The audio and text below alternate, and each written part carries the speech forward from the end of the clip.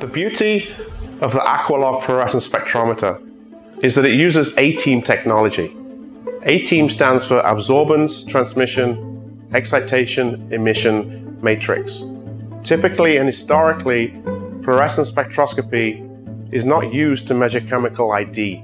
However, using A-TEEM, you're able to get a molecular fingerprint and use this for quality control and monitoring applications. We initially brought out the instrument to monitor the quality of water in water treatment plants and in bottled water and all sorts of environmental water applications.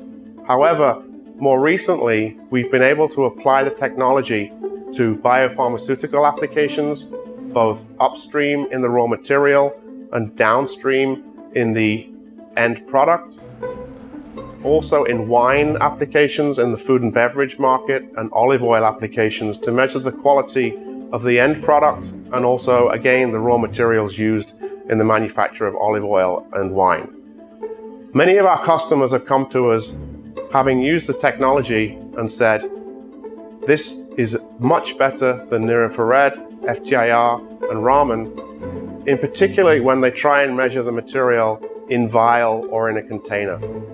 We're excited by this technology and expect it to expand into new industries ever increasingly.